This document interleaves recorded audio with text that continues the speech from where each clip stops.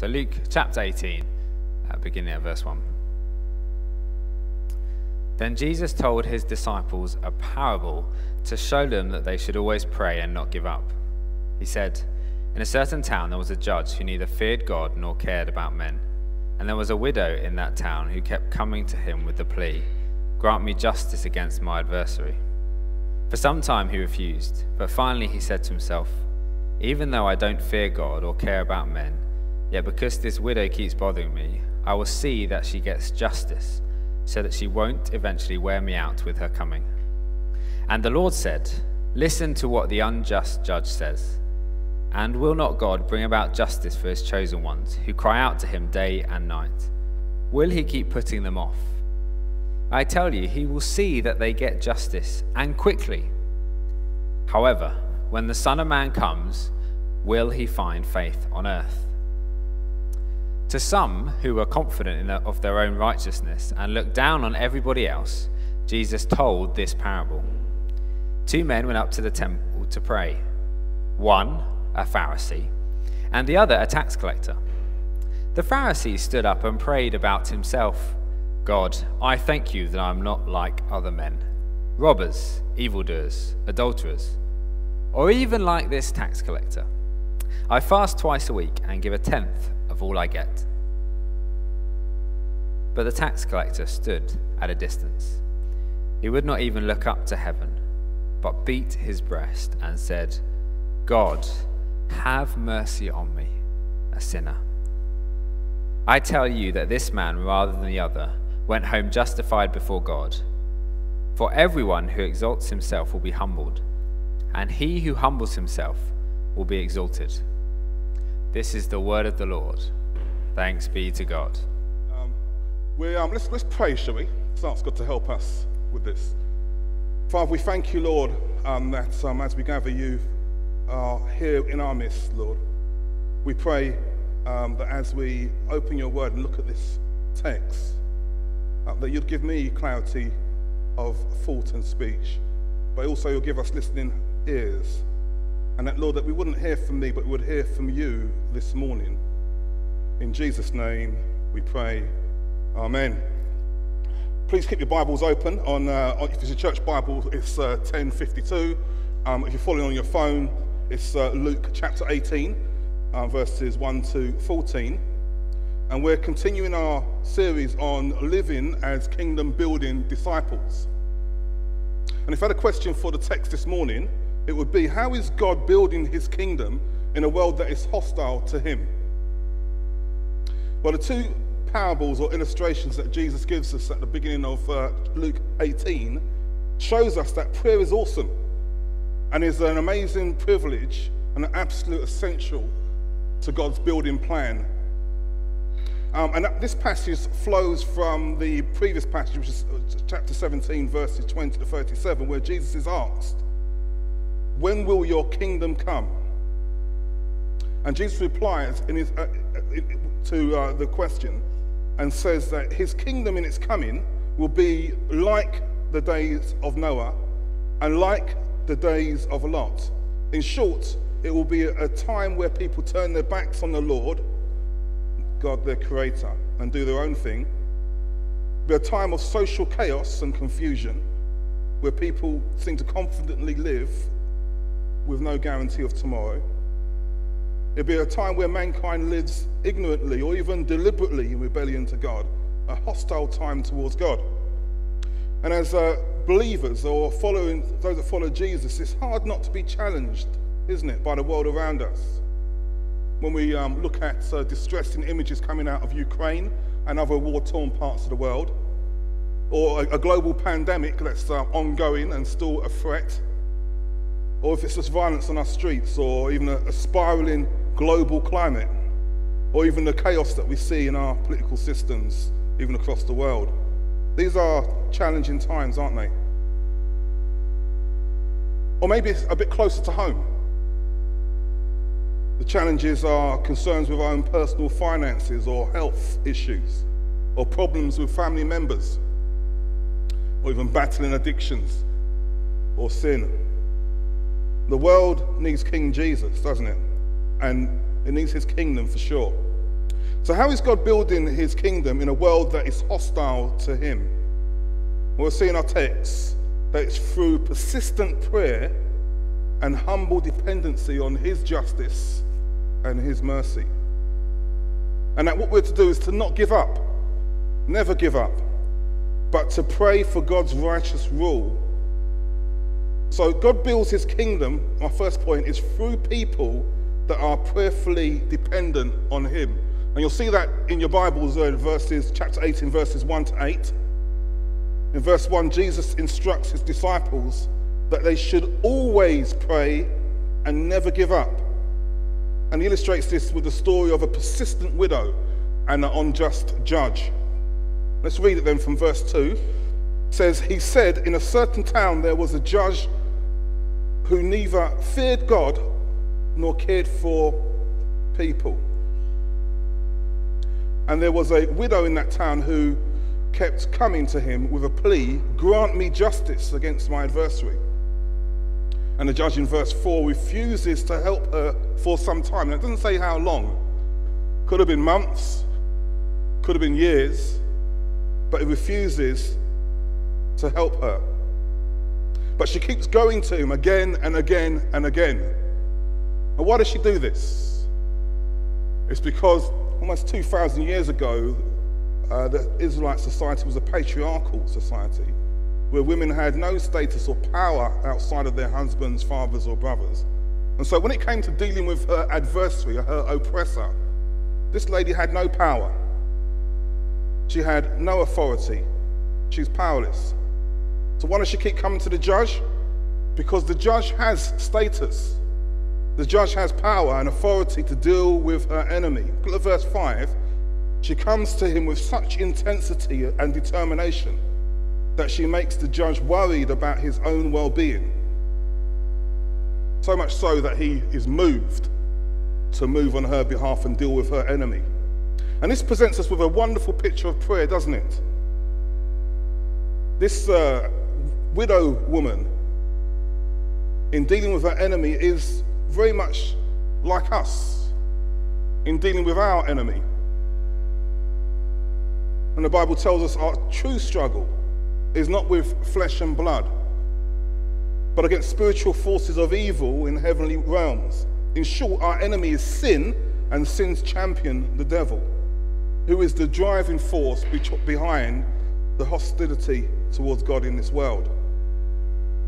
Now, that may seem strange to hear that in an Anglican church, but it's true. And we, like the uh, widow woman, in our own human capacity, our own power and strength, have no status or power or authority to overcome sin and sin's champion on our own. He can't be dealt with intellectually or with job titles or with uh, an excellent performance or with money or even just by coming to church. Our enemy is dealt with by being prayerfully dependent on the Lord. And why is this? Because the judge that we approach in prayer is unlike the judge in our parable. He is a just God and a caring God, but he is the ultimate judge. And there simply is no one like him. He is the Lord of heaven and earth. He is without beginning or end. That means you, there isn't a time that you can go to where he, you can find that he wasn't You can't go back far enough. You can't go to a time when he'll be out of office because he always shall be. You can't write his boss because there isn't anybody higher than him. And he certainly can't find anybody to outmuscle God because he is the Lord God Almighty. And there is no one that can outmuscle him. In short, there is no, no thing or no one that can stand before him. or against him. And here Jesus is telling us that, like the widow woman lent on the unjust judge, we are to lean on the Lord in prayer and depend on his status and his power and his authority to deal with an enemy that we can't deal with, but was well under his foot and our feet as we pray and st- pray with the Lord. We pray for his justice, and as we pray for his righteous rule, and we pray for his kingdom to come, God will move on our behalf in our world and in the world around us. Look with me at verse 7. Verse 7 says, And will not God bring about justice for his chosen ones who cry out to him on some occasions? It say that in the Bible there? Oh, sorry, I might have got that wrong. Who cry out to him sometimes. Now, the Bible says, who call out to him day and night. Will he keep putting them off? I tell you, he will, they will get justice and quickly. Notice that those that pray for God's justice, for his righteous rule, they will move God to act on their behalf in their lives and in the world around them. Isn't that wonderful? A wonderful privilege of prayer that you in your strength and your human capacity cannot deal with the real issues.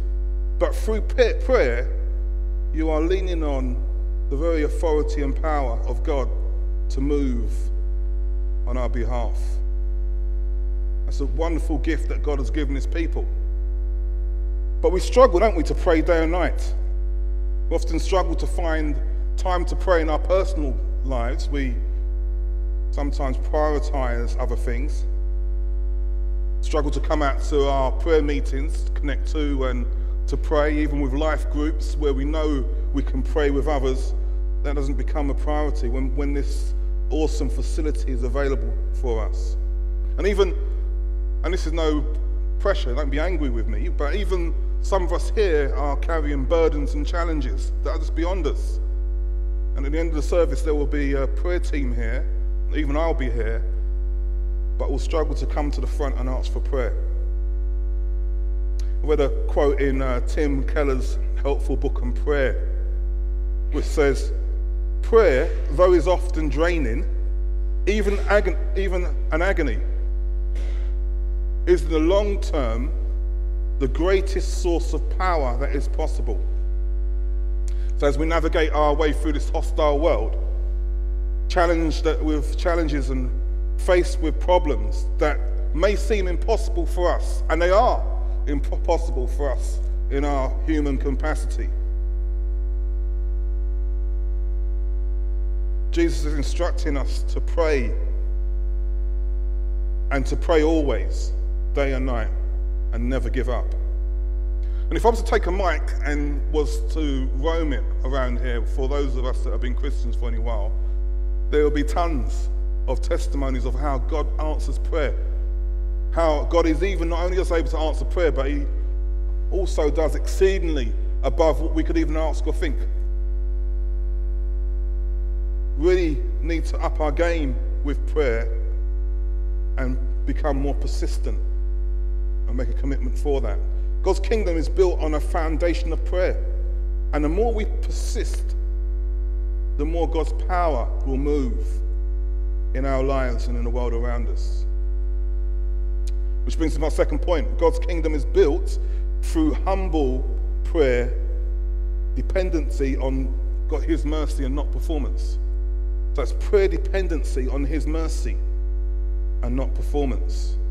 And the next parable, which is in verses uh, 9 to 14 in your Bible, continues the theme of prayer and in verse 9, Jesus tells his disciples not to be confident in your own righteousness and look out for others, or look down on, others.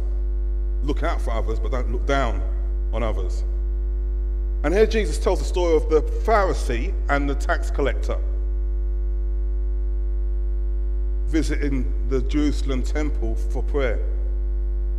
The Pharisee being a man of power and position, well connected, educated, family seem to be in check and in order, at least on the surface,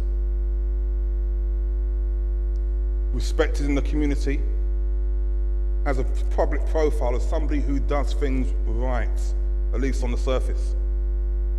the sort of person that wouldn't find it too difficult to engage here or be engaged with over coffee after service. And we probably would target him to be on our church rotas, fill some of the gaps in it, Harry. But on the other hand, the tax collector is despised, hated, considered to be the bane of society, a swindler, a, a Roman collaborator, someone that has a lot of money and makes a lot of money, but doesn't matter and doesn't care who he crushes to get it. He has the moral compass of a drug dealer. And you can see that as he parks his donkey in the temple car park or donkey park, onlookers looking at him and saying, What's he doing here? I guess if you had a, you know, if your daughter came home and said she had a choice of marrying either of these or a friend of yours, you're probably, I think the majority of us would push her towards the Pharisee, wouldn't we? But in our second parable, God sees things differently. So let's read from verses 11. So the Pharisee stood by himself and prayed, God, I thank you. like, not like other people, robbers, evildoers, adulterers, or even like that tax collector. I fast twice a week and I give a tenth of all I get. On the other hand, verse 13, the tax collector stood at a distance, the Bible tells us. And he would not even look up at heaven, but beat his chest and said, God, have mercy on me, a sinner. Now, the parable of the widow and unjust judge showed us that we have no power or capacity to deal with our own sin in our own strength and overcome it. And here we see that no one has the capacity to perform a righteousness that is acceptable to God. I mean, the Bible says that our righteous acts are like filthy rags before God. Mean, God simply isn't interested in our CVs, our LinkedIn profiles, or our religious activities, or even positions that we hold inside or outside the church. He's not interested in anything that we can boast about. His kingdom is built through repentant sinners who know they need God's mercy. No matter whether you are a prostitute or an accountant, whether you're a millionaire or on universal service, universal credit. We all need mercy and to turn away from sin and pray and thank God for his mercy. And in verse 14, you'll see the tax collector goes home justified, justified in God's eyes. The outcast, the wrong one, has been made right as he recognizes his sinfulness before God and recognizes that his only hope is repentance and to rely on God's mercy. And as we pray today, and as we pray day and night for God's justice, and we turn from our sin and receive God's mercy, God's kingdom is built amongst us and is a present reality, but also a future hope. A present reality because God's justice has already been served to destroy sin and its champion, the devil, and to deal with our enemy through the work of the cross. And God's mercy is available now for anybody who will turn their back on sin and ask God for forgiveness. I want to read you a um, couple of verses from Colossians. Don't need to turn there, but you want to make a note if you want to read it yourself. Colossians chapter 2, verses 14 to 15. Listen, to, listen to what it says about God's justice. It says, having cancelled the charge of our legal indebtedness, which stood against us and condemned us he has turned it away, nailing it to the cross, and having disarmed the powers and authorities, he made a public spectacle of them, triumphing over them on the cross and by the cross. Jesus, God's justice, has destroyed our enemies through the cross. Listen to what Ephesians says about God's mercy. It says, Because of his great love for us, God, who is rich in mercy, made us alive with Christ, even when we were dead in our transgressions. And by grace, you have been saved. God's justice and God's mercy is what we lean on in prayer. So, in closing, if you are listening to this this morning, either in the church or on live stream, and you have not yet received the Lord Jesus, we've just read here that God, who is a just judge, has already moved with great power and authority to offer deliverance from sin and its champion, victory over its champion. And all you need to do, and all we need, is a simple prayer just like the tax collector. We can do that this morning. A prayer to receive or turn from sin, ask God for his mercy, and receive Jesus as Lord and Saviour. And we'd be happy to do that today. Start you on your new journey. We'll have uh, people that will be praying at the front of the church. Um, there's people wearing lanyards. There's me. Want to grab one of us? Be happy to pray with you and start you on that journey. And for those of us who have come to Christ, um, know his justice,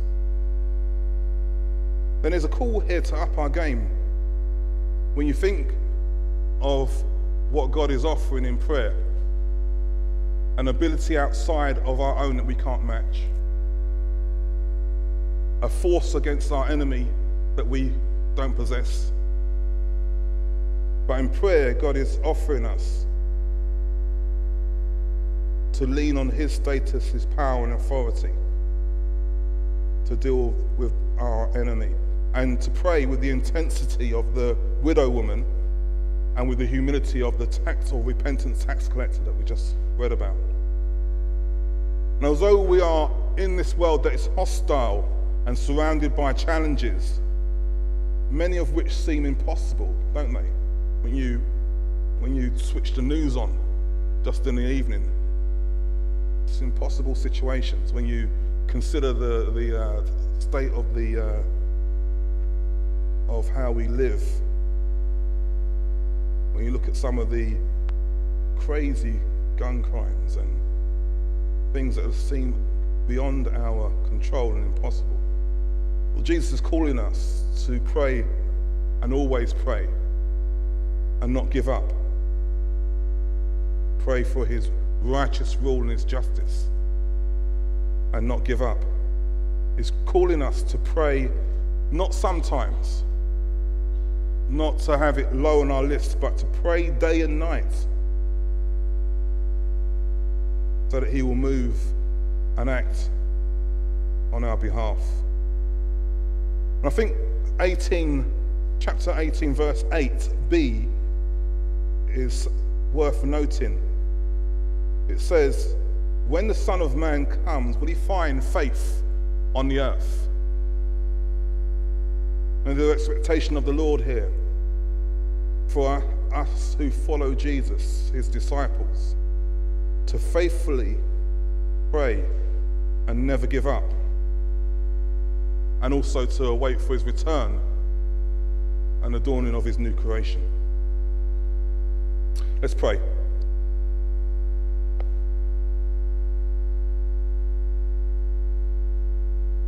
Father God, we thank you. We thank you for your word, and we thank you for your goodness to us. That, Lord, where we are living in a world where things just seem impossible and difficult and hard and challenging, whether that's uh, just generally how the world works, or whether that is issues that we are confronted with in our own personal space. Lord, we know that our enemy is not flesh and blood, but we wrestle against principalities and powers and spiritual wickednesses. That we need your power that you make available to us in prayer. Lord, I pray that you help us to be a praying church and a praying people that rely on your power and your mercy. Help us to come humbly And remember, Lord, the great price that you paid for us, that we might turn from our sin and find mercy at the foot of your throne. Help us, Lord, to remember this. In Jesus' name, Amen.